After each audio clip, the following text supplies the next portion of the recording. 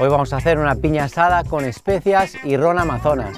Lo primero de todo que vamos a hacer va a ser asar esta piña. Hacemos hueco en el rescoldo de las brasas que nos quedan, hacemos un huequecito con esta pala, metemos la piña en el centro y cubrimos de esta brasa. Dejamos asar lentamente durante un tiempo, una media hora, 40 minutitos y creo que la tendremos a punto. Si tenemos que girarla de vez en cuando, le vamos dando vueltecitas.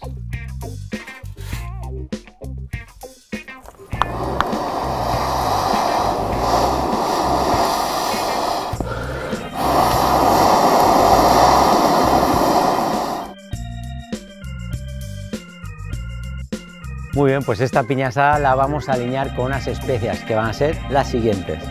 Tenemos cardamomo, clavo, semilla de hinojo, semilla de anís, anís estrellado, semilla de cilantro y enebro.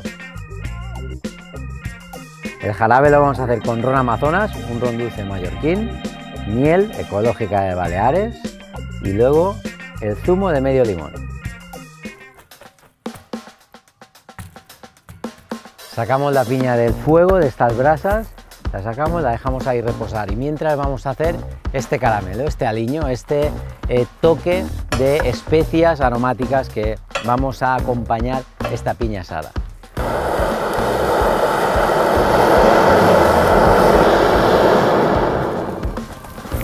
Vamos a poner todas estas especias que hemos explicado antes, las vamos a meter en esta cazuela de barro y se van a ir calentando. Entonces van a sacar los aceites esenciales, un poquito. Vamos a calentar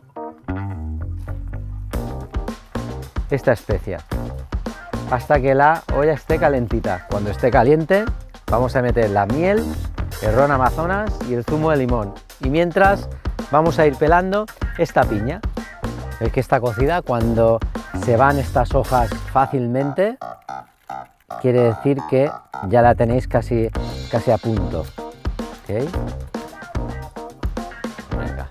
Vamos a dar el último toque. Tenemos una cucharada de, de miel ecológica de Baleares, en este caso de Mallorca, zumo del limón si queréis poner un poquito de ralladura de, este limón también podríais. ¿eh?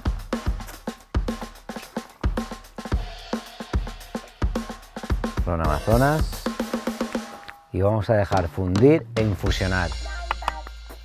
Ya tenemos el cuchillo preparado, vamos a pelar esta piña para incorporar a estas especias juntamente con la miel, el zumo de limón y este ron dulce mallorquín, este ron amazonas, un ron negro.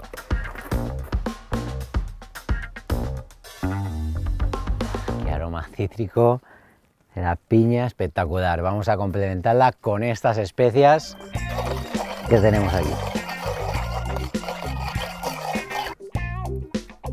Lo que hacemos es cortar esta piña y dejamos infusionar en este licor, en este ron dulce, en la miel, el zumo de limón y las especias. Y la piña se podía servir así tibia, con un helado, haciendo el contraste de temperaturas, o guardarla infusionada en nevera y servirla bien, bien fría.